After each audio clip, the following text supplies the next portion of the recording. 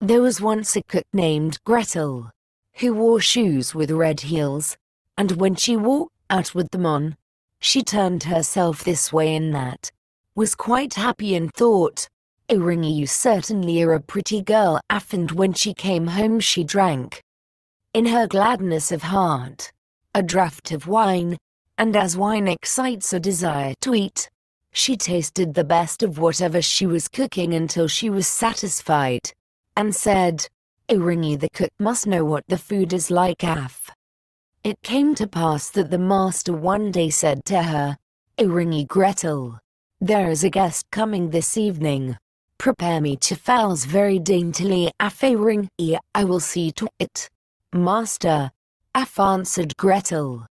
She killed two fowls, scalded them, plucked them, put them on the spit, and towards evening set them before the fire, that they might roast.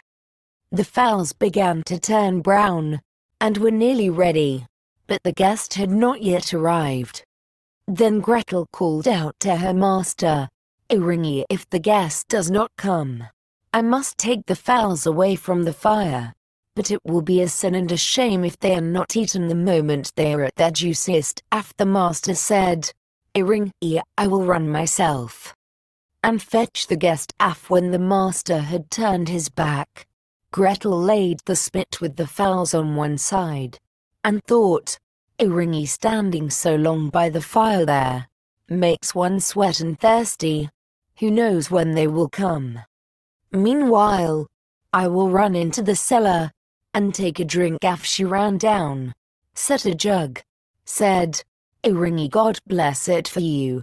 Gretel.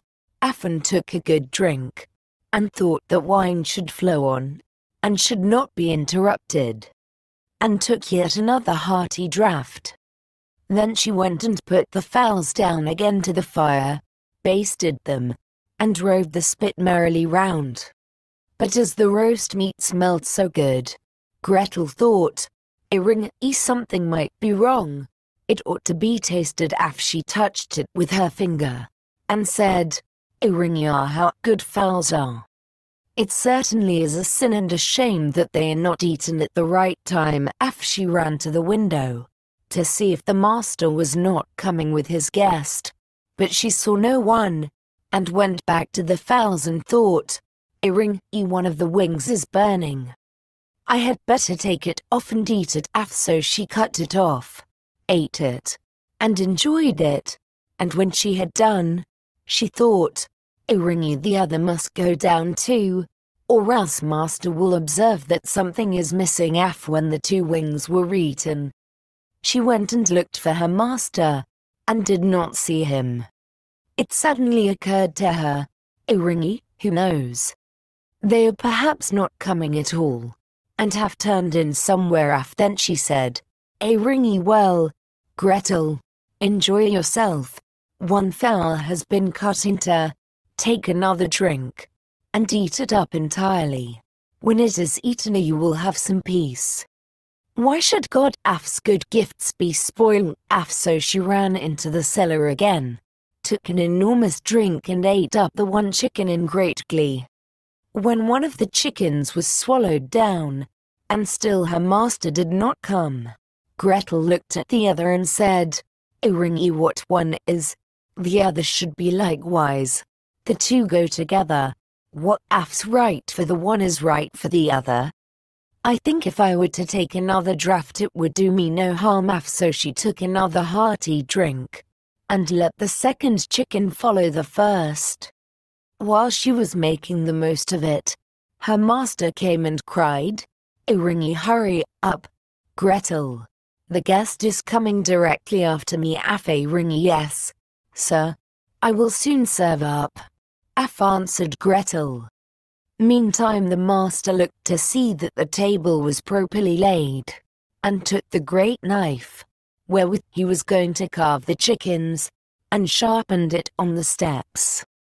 Presently the guest came, and knocked politely and courteously at the house door.